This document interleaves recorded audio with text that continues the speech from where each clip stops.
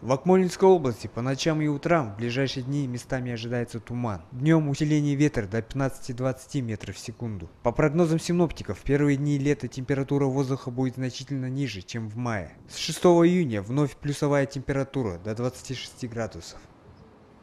В связи с вторжением скандинавского антициклона на территории Акмолинской области наблюдается понижение температуры воздуха. Ночью 3,8, днем 15-20, местами 23 тепла. Местами усиление ветра 15-20 метров в секунду. Преимущественно ожидается погода без осадков. Такая погода прогнозируется на ближайшие трое суток.